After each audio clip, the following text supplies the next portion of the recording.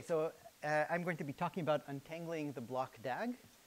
Um, this works. Work. Okay, so this talk is going to be, uh, even though the, the workshop is on applications, economics, law, and ethics, I'm going to focus on blockchains.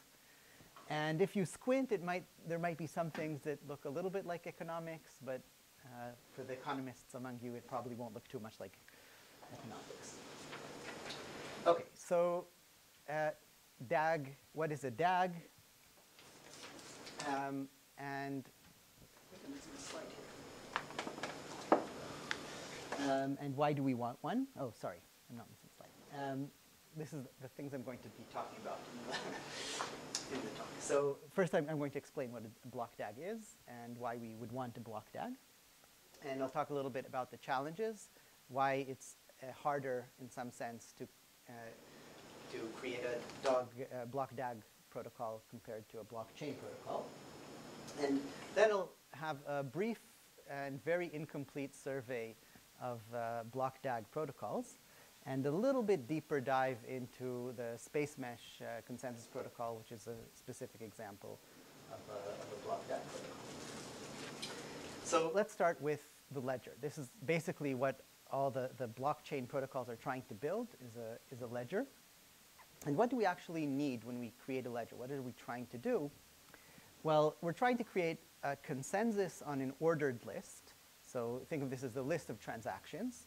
And of course, we care about the order in which transa transactions happen. And consensus in the sense that everybody should agree on what's in the list and what the order is. And uh, this is critical, right, if you have this, uh, this ledger, and you can think of this as, as time going by, and the ledger records where the money is, right, so the money moves, and it's very important that everybody agree where the money is, otherwise uh, we can't actually run uh, a cryptocurrency. But that's not enough, right? So this consensus property is something that, uh, say, you know, Byzantine agreement protocols have been doing for a long time, but it's not enough for us to get a consensus. We also want this to be irreversible.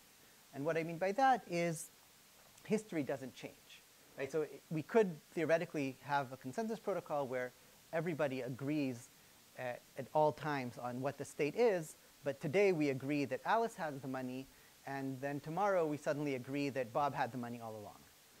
So that is not a good uh, situation if we want to run a cryptocurrency.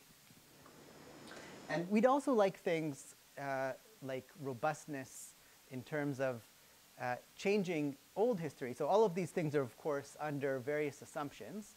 And we always have to think about, you know, what if our assumptions are wrong or maybe just slightly wrong? Um, how easy is it to, to break the properties that we want to achieve? And it would be nice if sort of the older things are, the more set in stone they are. Because if we, somebody can change something that happened 10 years ago, then everything since then is chaos. Right? But if I can only change something that happened in the last hour, then maybe I can recover from that. So we'd like things to be sort of more robust the older they are. There are also some other properties we want, like uh, chain quality. Um, this is sort of the, in, in, the distributed computation thing, it's called liveness, uh, but it's, it's a more um, quantitative version. So it's not enough that we add honest things, honest transactions. We want the honest transactions to be sort of added in the, about uh, the same fraction as they're actually submitted. Again, I, am also, uh, you know, hand waving a lot of things here. This whole talk is going to be, you know, not very technical without any proofs. What, uh, what's sorry? the definition of an honest entry? Yeah, so those are one of the things that I'm, I'm hand waving what exactly does it mean that there's an honest transaction? Here I'm also... Any intuition for what an honest transaction is? Like it doesn't so, so here, okay, so, so actually when what we measure here is not the transactions, but the blocks. Um, and he, for this talk, you can think of each block as sort of a container for a transaction. Uh, we don't really care if it's one transaction or several transactions. Um, and usually you get a reward for generating a block, and, and, so we want the honest parties to get sort of their fair share of the rewards. But I, I don't want to go very deeply into this because it will sort of sidetrack us. Okay, finally, something that uh, we may want, and I think this is sort of the main new thing that blockchain protocols give us, is this whole thing in a permissionless setting, where basically anyone can join the system and leave the system at any time, and I don't need to ask for permission from anyone. I just you know, run my own computer and I can join the system. Okay, so that's what we want. Now, why is that hard to get? Well, first of all, it's uh, the adversary, right? If, if nobody's attacking us, it would be easy. But the problem here is that uh, the adversary that's attacking us is very powerful. Um, so, for example, it's not enough to think that you know, people who are attacking us are going to be rational. They'll only do whatever it is that gains them the most money. At least, maybe some of them are, but you know, there, if, a, if a protocol is permissionless, enough people can join it, there will always be some people who want to just you know, hack it for fun and they don't care about making money. Or on the other hand, if we're talking about an, uh, an ecosystem with many of these uh, ledgers, then it might actually even be rational to do an irrational thing locally in some systems. So I might lose all my money in one system because I crashed that whole cryptocurrency, and now I get money in some other way because maybe I shorted it. So we have to consider a malicious adversary. We also have to consider an ongoing attack. So the adversary is always attacking. We have this, these systems are running all the time. They're on the internet, and everybody's uh, constantly attacked. And you know, you connect a computer to the internet, it starts getting attacked within about 30 seconds. Uh, and th the same is a, is a reasonable assumption for cryptocurrency systems. And finally, I think this is what is the, the hardest part, is what we can assume about the network. So in most of these protocols, we want to assume that the adversary has full control over the network timing. Why, even though the adversary might not actually have full control over network timing, um, the network timing over is, is, sort of bad enough that, you know, to be on the safe side, this is something that we should uh, assume. Now, when I say full control, I don't mean completely full control. There, otherwise, we just couldn't do anything. So the, the usual assumption is that the adversary can delay messages, can reorder messages, but it can't stop them forever. So there's some bound, say, we call it delta, where, uh, say, 30 seconds, the adversary can hold a message for 30 seconds, but after that, everybody will see it. So these are the, the sort of the challenging environment in which we have to work to design the protocols. And we know that consensus is hard, like even if we have um, fixed parties, we all know who the parties are, and we all agree on who the parties are, and the network is synchronous, right? So th this is a classic problem that's been studied for many, many years, and the problem is we don't know who to trust, right? So we have, we know who the parties are, but we don't know which parties are malicious and which are not. And, and this makes it really, really hard. In fact, it makes it so hard that permissionless consensus is provably impossible. Unless we, we do something else. And why is it impossible? Because the adversary can create these Sybil identities. The adversary can always sort of duplicate itself as many times as it wants. And now uh, it can have 90% uh, majority of all the identities and I mean, assuming that you're doing the consensus based on identity, on, on like yes. number of identities, right? Obviously, this morning I presented a permissionless consensus that was possible. Oh, obviously permissionless consensus is possible because we'll, we'll get to permissionless consensus. I'm saying this is like the, the classic, in the classic model, permissionless consensus is impossible. Right? We have to add some kind of new assumption in order to get permissionless consensus. Um, so so we, we need an honest majority, but we can't get that if this is our, our basic model. For majority-based consensus. Well, for, for consensus that satisfies the standard uh, properties that. It's majority-based. That's not, I think Rafael Pass had a paper showing, you know, uh, from, from a ba- more Whatever basic wrote on the assumptions. No, no, there are much older papers, right? Like, So you, you end up doing majority-based stuff to. to- to Whatever you wrote on the last slide is not correct, but there's some. th- this is like a, a classic result from the 70s, right? The Byzantine agreement requires an honest majority. But those were all based on like uh, assuming sort of like symmetric configurations. Like you're talking about like old Lamport paper. Okay, I- as I said, in, and this is the standard model. If you're changing the model, you can do other things, yes. And, and we're going to change the model. So you're right, there, there are different ways to, to sort of define what you want, and then you'll get different things. Yeah, I mean, your work changes the model in the sense that each person selects, you know, the other, this quorum. Right, but you didn't say anything about the model in your bullets, so it's. Right, right. So- So, so okay, here, this is, I, I didn't explicitly say it, but we're talking about the standard model, it's impossible. This is just a, a bullet point Yeah. to say we need to do something different. Specifically symmetric, right? Every honest party is symmetric with every other honest party, meaning trust exactly the same group, right? So. Yeah, but you also have like Malkhi and Reiter, Byzantine quorums, you have, there there, uh, there was, like, there's been like multiple papers on this, like, you know, ten or more years old, um, that, like, that involve other things. I mean, at the end, what you need is like quorum intersection, basically, or, you know, so for, for a lot of these, for, for, for most of these. But to say that you can't get consensus with, with a, without a majority is like ignoring, like, uh, you know, established. The results. slide isn't imprecise. It didn't put all the statements under which the impossibility is true. We all Yes. agree. Uh, Yes, th- that's totally correct. Yeah, and I'm going to show like another model in which it is possible to get permissions. So, and th- this is the Satoshi Nakamoto's, I think the like the nice uh, uh, observation that he made, or she or they, um, is that we don't have to look at parties, we can look at resources instead. So if we choose resources that are easy to measure um, and hard to fake, then we can do basically switch this honest majority assumption to an honest majority of resources, and now we can suddenly do things again. That's not true either, because you're moving the goalposts, right? In the old group. I'm changing the model, yes. In the classic definition, you could, you needed three things, right? You needed agreement, uh, you, you know, uh, termination, and validity, right? And now you said you don't need agreement anymore, you can change your vote. No, right? we do need agreement. We- We have blockchain reorgs, right? There's no, you don't have finality in like, say, a a Nakamoto consensus, right? Specifically in a Nakamoto consensus, we might not have finality, but we can build a consensus under these uh, assumptions that does have finality.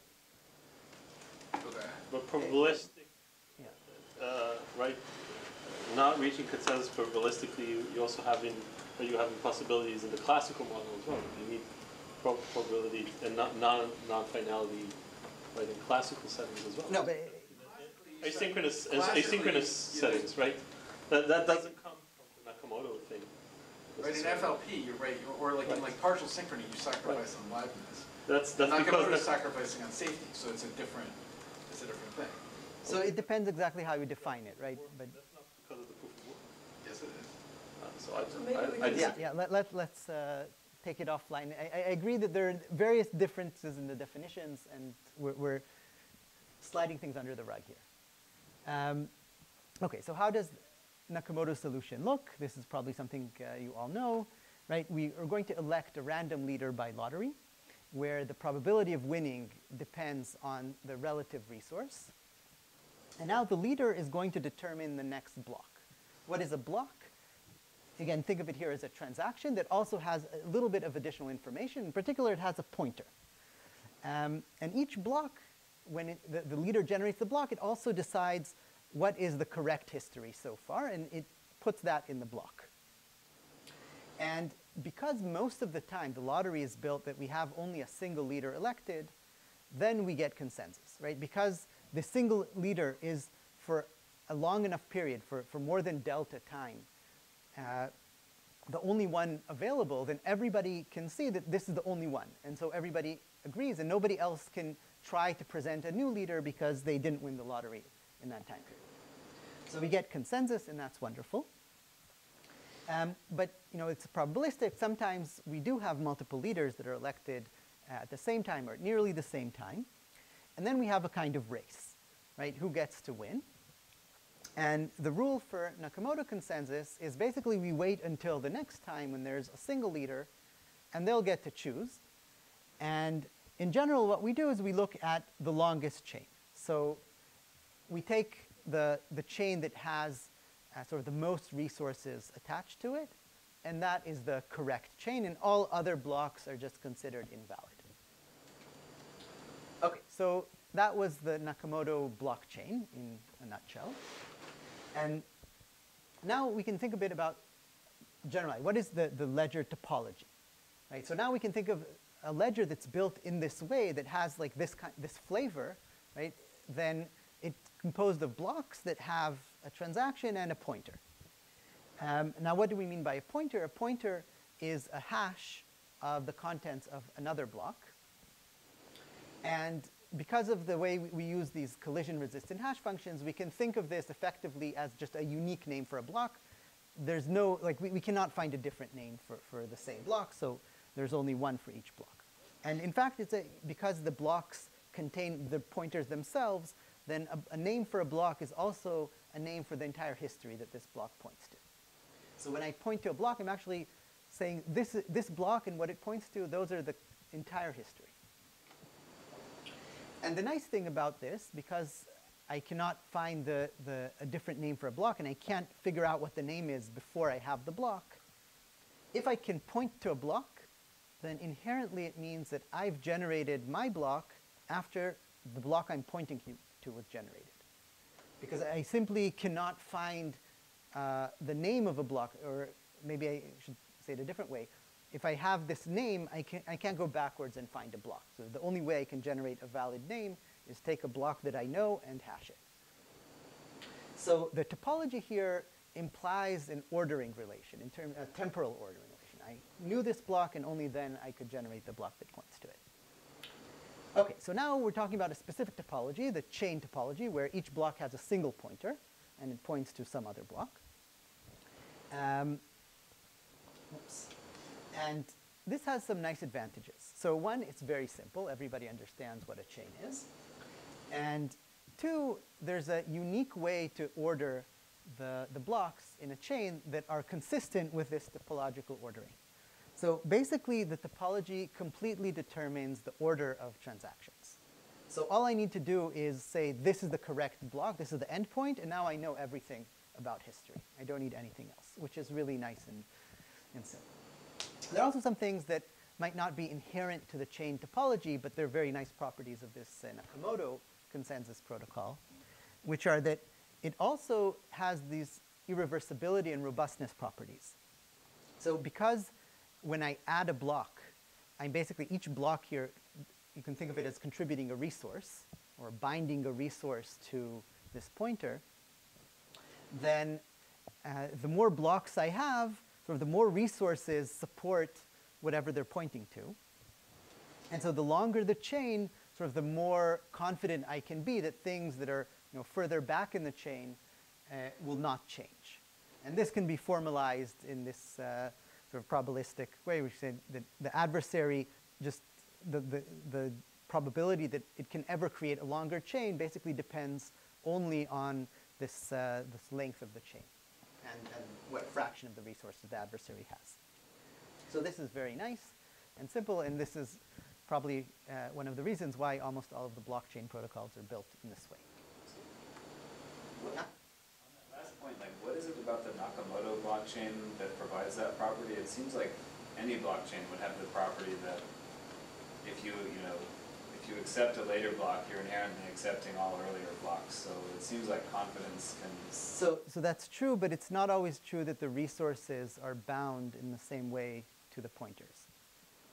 Um, so, so they don't work in exactly the same way. And you can think of, of like different things that you know you do with blocks that uh, you know you run a separate BFT protocol and create blocks, and it's not uh, like a one-to-one this resource uh, binds to the block, or even things like proof of stake, where you could create different blocks using the same resource, and then things become murkier. So it's not decreasing, but it's not increasing, right? It's Like, sure. Yes.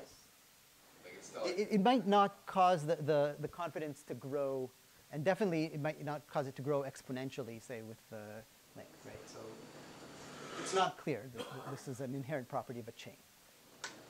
Okay, so that, that's the good things about chains. By the way, how much time do I have? You've, got- you've done 14 minutes, so uh, 26. Um, so why not just use chains for everything? Well, specifically this Nakamoto consensus uh, has inherent scalability problems. And the thing is that here we're really strongly assuming that there is, at some, at many points in time, only a single block. But what happens if we have many blocks almost all the time? So in this case, what we get is a chain that forks and forks and forks. And now the, the honest parties, when they try to decide what's the longest chain, they don't agree. So the honest parties are basically splitting their work between many, many chains. And the adversary can then choose which of the chains to put its own little bit of work on. And it can basically say this chain is going to be the longest, or it can make sure that the chains all stay about equal so the forking will continue forever. And so we won't actually get consensus. So basically, if forks are common, then we don't have security. And the, the flip side of that is if we want security, then we need to make forks uncommon. And for that, we need to have the interval between blocks, between these lottery wins, be long enough that with high probability we'll get these single blocks. But this interval is a limit, right? If, if a limit on, on, the, on the throughput of the network. Right? If we try to increase the throughput of the network, we have to either put more blocks per time period or make them bigger. But if we make them bigger, it actually also uh, has a, the, the, the effect of increasing the network latency, this delta that uh, we are saying how long that the messages are delayed. So we can't do that because, again, we'll get forking. So this protocol has inherent limits. There are also some problems with the incentives, the, the mechanism design here. Um, so I think uh, Ittay showed that there's these uh, selfish mining uh, problems where actually if you look at what the rational miner would do, then in some cases it's actually better to not publish blocks and let everyone continue and run the honest protocol. It's better to keep it to yourself. And that way you can get a head start on the next block and make all the other parties sort of waste their work because they're working on something that won't get chosen. Um, and it turns out if you analyze this, it actually is, is a, you know, the rational thing to do. And if all the honest parties become are rational instead of honest, if they actually do this, then again, security will break down because if everybody withholds blocks, then we don't get the, the nice properties that we want. Um, and finally, we have this sort of more general wasted resources, right? If we only store this longest chain, then we're losing the, the information that we have in, in this whole uh, um, the, the, whole set of data that we received. So for instance, in this graph, right, there are many more uh, blocks pointing to this than pointing to this. So it seems reasonable to assume that more honest parties thought that this block was the correct one than this block. But if all we store is the longest path, then you know, this path and this path are sort of equally good. And so we've lost this information. So this is sort of the, the motivation. We can solve these problems in different ways. And one of the ways we can solve them is DAGs. So the idea of a block DAG is let's allow a more general topology. Instead of just having this single chain, we'll allow graphs that are not necessarily chains. And then we might have to replace this longest chain rule with something else. And of course, now we have a lot more leeway, and so there are actually many very different ways to, um, to build these DAGs, the different kinds of graphs, and also different uh, rules for how we, we go from a graph to an actual ordering of transactions. And these precise choices actually make a huge difference in exactly what properties we get from, this from these protocols. So the advantages are almost always high throughput because now we can uh, publish many blocks at the same time. And then depending on how we exactly build these things, uh, we could get lower latency or not. We could get you know, a better incentive structure that does not have these problems. Uh, we could even sort of remove the need for lotteries where uh, you have you know, somebody chosen at random and instead have you know, people being chosen deterministically every fixed time period. So there's been a lot of work on DAGs. This is a very partial list. Um, it includes the things that uh, I know have papers with something that resembles a proof. Um, there are lots of other things that are sort of heuristic arguments. Some of them might be okay, I'm not sure, but I think one of the sort of critical things in, in any kind of uh, protocol that you rely on its security is uh, to give a proof of security because just running these protocols won't convince us that they're secure. Um, so I'm going to sort of very briefly go over these protocols. Um, and apologies to the people in this room who know much more than me about them. And whenever I make mistakes, please point them out. So I'm, I'm going to like give sort of my uh, view of sort of what is the intuition, like the, the basic idea behind uh, these things, and, and then a little bit more about Spacemesh. So let's start with uh, Ghost. This was uh, one of the first ones. So there, the structure is uh, just like a slight generalization. Instead of a chain, we're going to have a tree. So we still have one pointer from each block, but now we keep the whole thing. We don't just keep the longest chain. And the main improvement here is that we're going to include uncles. So we don't just uh, store the, the longest chain, we're also going to uh, remember that, say, this block has more support than this block because this one has one, two, three, four blocks pointing to it in aggregate, whereas this one has only three. And so even though the longest chain rule would say, you know, we should choose this, here we're going to choose this one because um, it has overall more support. So that's the basic idea. It solves this wasted work problem and uh, hopefully makes things a bit harder to attack. It has, I think, some problems uh, with the chain quality and like there, there are various uh, um, trade-offs here. But this, this thing has actually been used in practice. I think Ethereum is still using a version of it or not anymore? What? They never did? They just claimed to use a version of this? Okay. And then But they didn't, I see. the protocol, they did something completely different. So it's almost being used in practice. um, okay, then there are two things that are actually quite different, but I'm you know, globbing them together uh, because they have, in some sense, a similar flavor. This is inclusive blockchains and fruit chains. So these are sort of, the, the structure is now a DAG, so you can have um, actually more than one pointer, but um, it's sort of a weak DAG because actually we really still care only about the longest chain. So specifically in inclusive blockchains, um, what we're going to, to do is still choose uh, the heaviest chain for saying what is the correct history. But now uh, we can also include other transactions. So if we have transactions here that don't conflict with those on the main chain, then we can also add them. Um, and I'm going to ignore, there, there are lots of, uh, especially in, in fruit chain, I think there are all these uh, mechanisms for how to design the incentives correctly.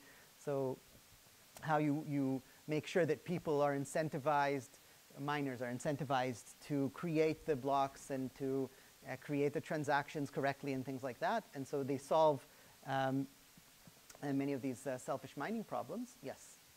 So just a question, I know you're sort of summarizing a bunch of mechanisms in general, but now there's a bunch of arrows, there are blocks that point to multiple previous Yes. blocks.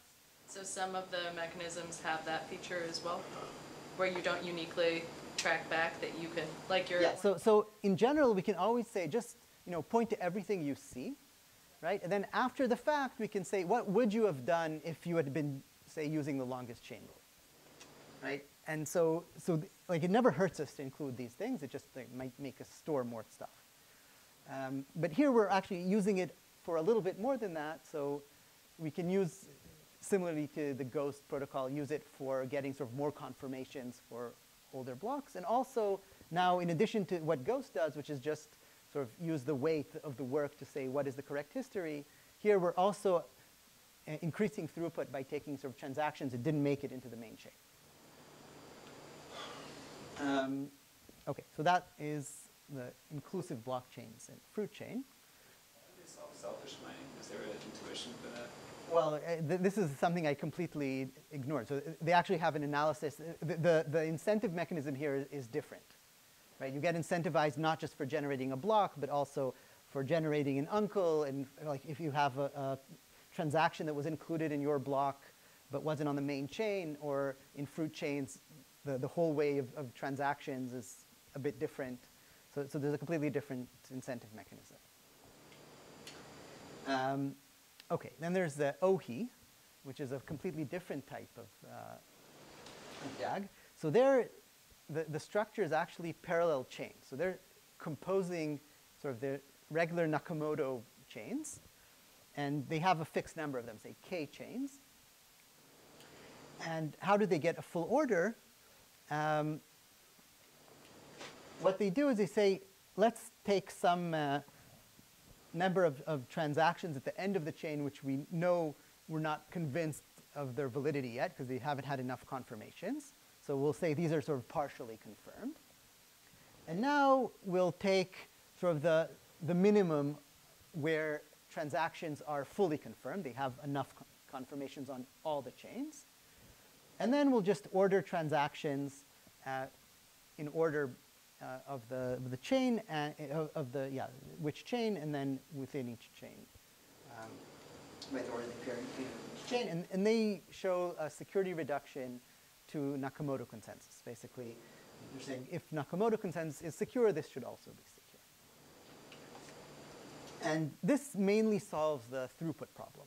So it, because it's uh, basically Nakamoto consensus, but in parallel, then you get most of the problems of Nakamoto consensus, uh, except that you now have many blocks in parallel, so you can get more throughput. So- So, do they set the hardness parameter in the same way that Nakamoto? No, so, so the hardness is divided. So basically, they're setting it so if in Nakamoto you'd have one block in 10 minutes, here you get uh, one block in each chain every 10 minutes, something like that, on average. So the hardness on each chain is, Is less. Yes. so I don't see why you could reduce it to Nakamoto. I mean, why couldn't there be a fork on the second chain? There can be forks, but they're, they're solved in the same way. So in each one, we, we take the longest chain.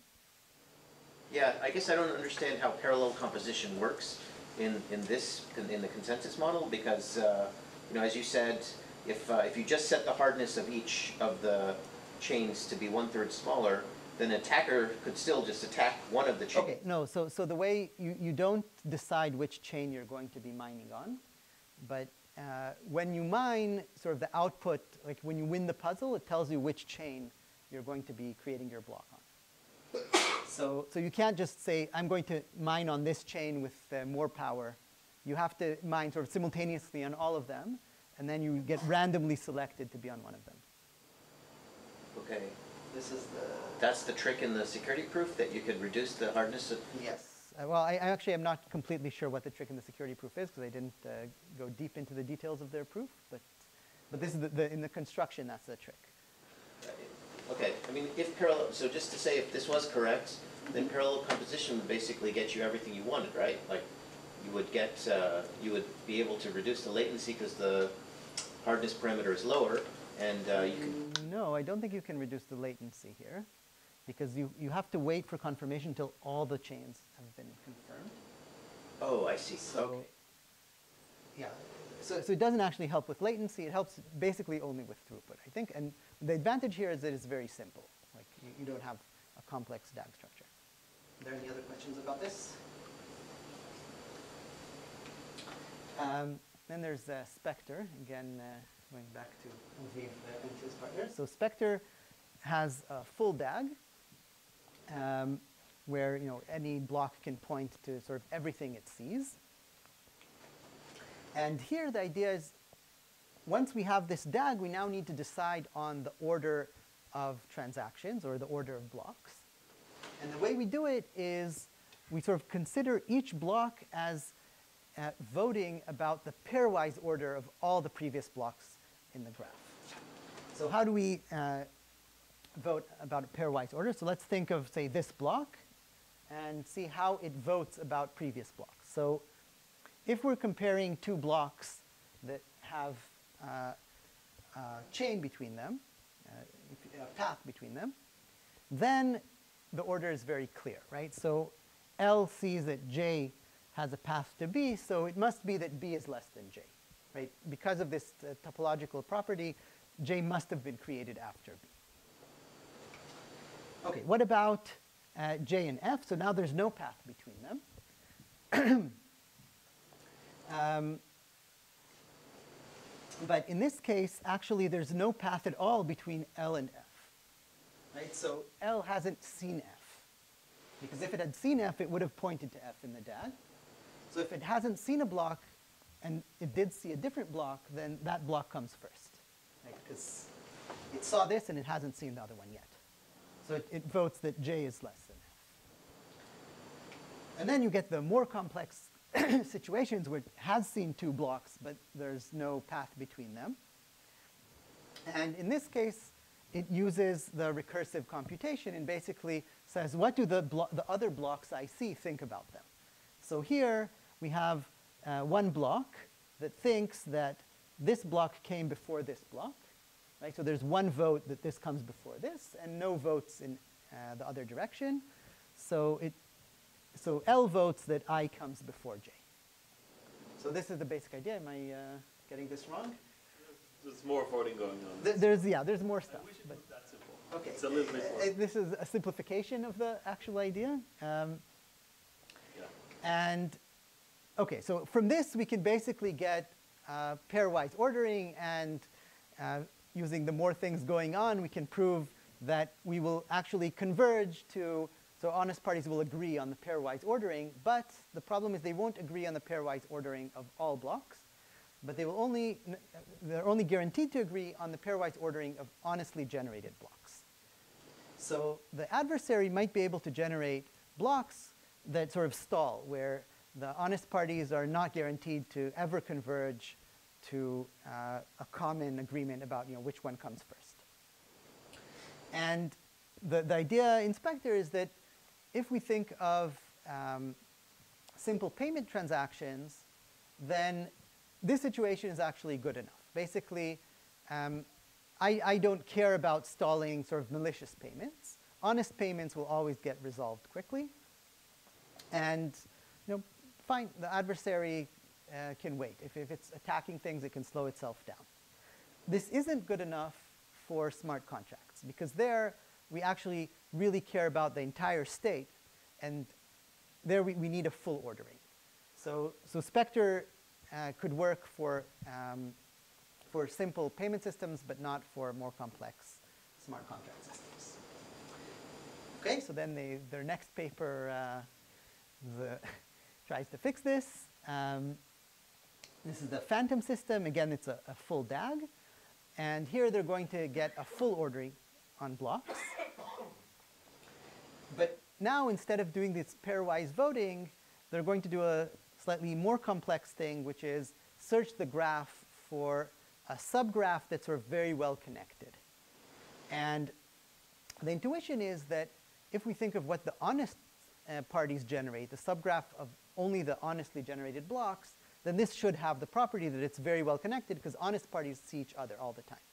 So if we find such a graph, and this isn't like immediately obvious, but this is something we prove, then you know it will uh, we'll, be able to sort of agree that this is the the right uh, graph. And then what they do, whoops, should have.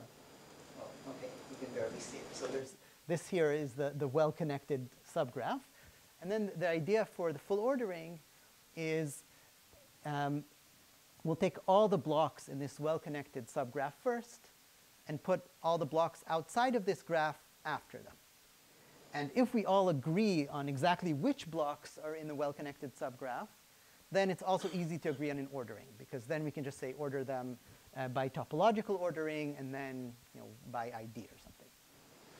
Um, and because the adversary uh, cannot generate sort of late blocks that go into this, it can't change history. Right? If, if the adversary tries to generate a block you know, after the fact and claim somehow that it was earlier, then it won't be in this well-connected graph because the honest parties won't point to it. And so uh, it will always appear after the, the honest blocks in the final ordering. Um, so in the final few minutes, I'll talk about the Spacemesh consensus, which is uh, we call it the tortoise and hare consensus, which is another uh, kind of DAG. Um, so one of the, the properties that uh, we worked uh, quite hard to get here is this robustness to failures, um, something that actually Nakamoto consensus has sort of uh, very easily. Um, why do we need uh, to plan for failures? And what do I mean by failures here? I mean failures in our basic assumptions. Right? So all, all of the protocols that I've showed, uh, assuming their proofs are correct, are guaranteed to get you know, all these good properties if there's an honest majority or a two-thirds honest majority or whatever they need, and the network has the you know, appropriate connectivity. You know, there's a list of assumptions, and you know, this is how proofs work. Right? We have assumptions. If they're all satisfied, we get the, the guarantees. But um, assumptions in the real world aren't always satisfied, and especially if we're talking about things that should be running for a very long time. So even if you have things that are, you know, one in you know one million or 2 to the minus 40 or whatever statistical security parameter you like, these are the sort of the, the things that people usually choose, then over uh, 40 years or 100 years, these things will happen. And it's important for these systems to be able to recover automatically from these assumption failures. The reason is that the whole point we're, we're, uh, of using a decentralized permissionless system is that we don't trust any central authority. And if in order to recover from a failure, we have to trust a central source, like somebody has to say, oh, we'll manually switch the code to do something, then we have a problem. Um, so, I mean, it's not that these things are insurmountable, as we saw, uh, you know, in the DAO attack. Like, sometimes we can recover manually, but it's much, much better if the system can recover automatically. So uh, what we want is for these systems to have what we call a self-healing mode, where at least, so okay, what can we hope to get after we have this kind of assumption failure? We can't hope that you know, nothing goes wrong and everything will be exactly as it was before because uh, otherwise we could just prove our system is secure without these assumptions. But at the very least, we could hope that we were all going to agree on the state of the system um, after the, the you know, good conditions are restored. And uh, ideally, we also have this robustness, uh, when I said that older history should be more secure, so we wanted to continue also in, in this type of setting, so sort of the, the, assumption failures need to be worse to uh, change history that's older. Um, so specifically in Spacemesh, the cell, we, do have these properties, but the self-healing mode um, actually uses slightly stricter assumptions. So we don't need complete quiet, but we need like the attack to go down to lower levels than you know the, the uh, what we can tolerate when we're not in self-healing. The second thing that we tried to, to achieve with, uh, with Spacemesh was to have a race-free protocol. Basically, uh, what we mean is there are no races, and honest behavior is always rewarded. So this is not sort of a necessary condition uh, for things to be incentive compatible.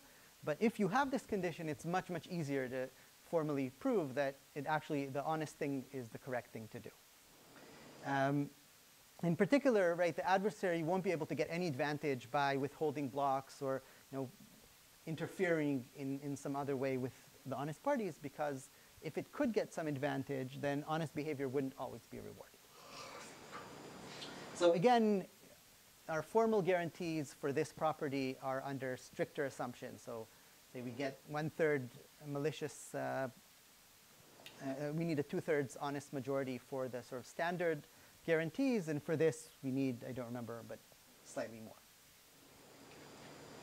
Um, the other thing that we can get, um, and this is something that we required because uh, our uh, cryptocurrency is not built on proofs of work, it's built on proofs of space-time, is that we don't require Poisson lottery. So I think all of the proofs of security of the things uh, I've shown uh, sort of have this property that blocks are generated uh, randomly with a Poisson distribution, so they appear with equal probability in any interval of time.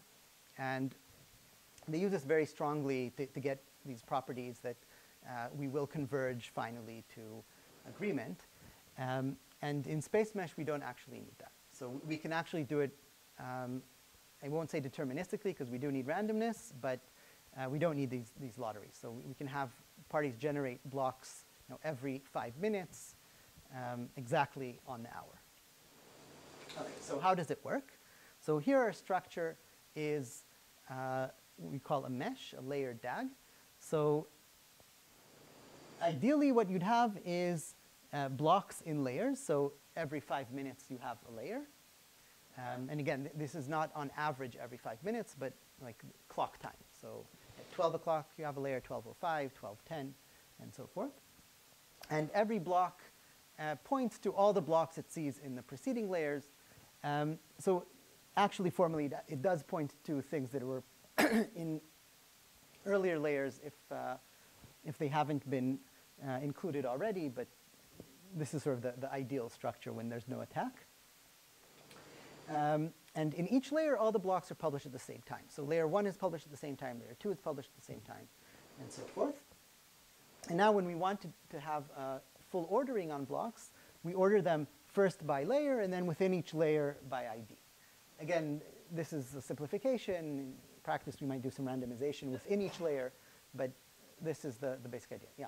So, so uh, I'm, I'm trying to understand the proof of work or, or, or space-time. So Yeah. if I have multiple identities, how does that reflect in, in my blocks? So, so the way you can think of this is there's a completely separate proof that I used up my resource. Okay, I publish it separately. And each of these resource proofs entitles me to one block At some, some, at some future time. And, and that future time will show, you know, this block is because of that resource. And when I uh, publish this proof, I might even know ahead of time exactly when my block is going to be published. more resources, I can build more blocks in the same layer? Yeah, so the more, the more resources I have, the more blocks I get. How many blocks are per layer? So, so we basically, again, it's not a Poisson lottery, but we shuffle the blocks so that you have on average the same number of blocks in each layer.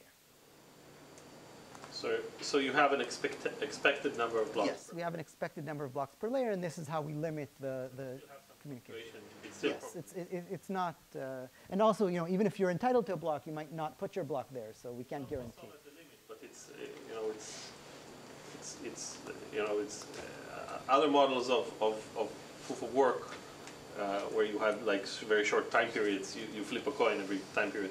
At the limit, you, you become a Poisson distribution. Uh, not exactly, but I mean, there is some randomness there, and but it's used in slightly different ways. So, okay, so now, um, even though it's, I guess, morally equivalent, in, in say Spectre and Phantom, what we were trying to do is, you know, all the blocks are valid in some sense, and we're just trying to decide on in the ordering. Here, we have a fixed ordering, and we're trying to decide which blocks are valid. So an adversary can always claim a block is in layer two, even if it now is layer four. And of course, we wouldn't want that to happen because then it would insert a block into ancient history. So we want blocks that you know, are created late to be considered invalid by all the honest parties. And we want all the honest blocks to be considered valid by all the honest parties. so how do we do it? So we also use a kind of voting mechanism, except that here we're not using this pairwise ordering voting. What we're doing is we're voting on the validity. So each block uh, basically votes on the validity of all the previous blocks that it sees. So for every block, so say if we look at this block, right, it thinks this block is valid and these blocks are valid.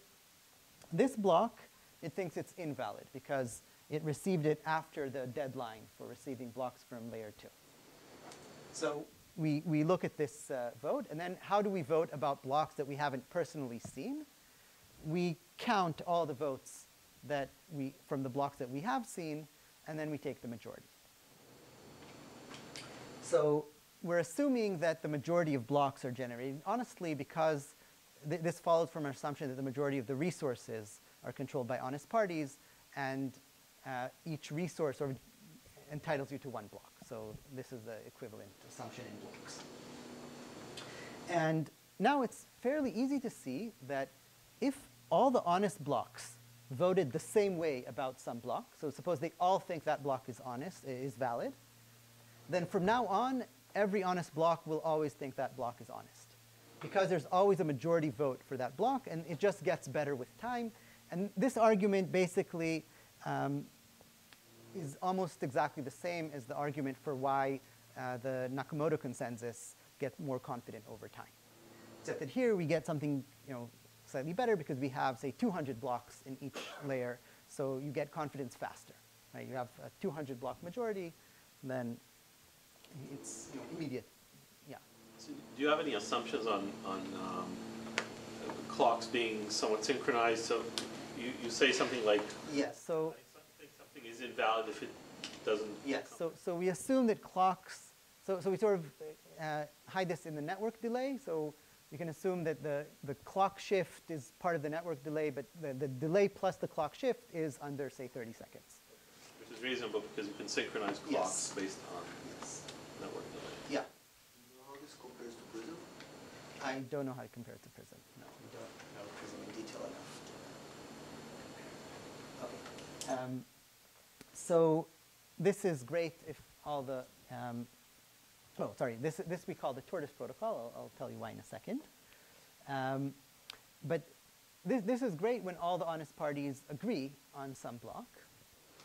But uh, it actually doesn't work for blocks that are adversarially generated. Because for adversarially generated blocks, it could be that the adversary delayed them for some honest parties and did not delay them for other parties. And so some honest parties think they're, they're valid and some think they're invalid. And now the vote can split half-half. Now with very little power, the adversary can always sort of generate additional votes that will always maintain this uh, half-half voting split. And this is what we call a balancing attack. So this is something that if we just used this voting mechanism could go on forever. It's the same problem that Spectre had, basically. Right? You would never reach consensus. So how do we solve this? We add some randomness. So this is sort of a trick from standard um, Byzantine agreement protocols, right? If we, we can't do this uh, deterministically, we're going to add some random component.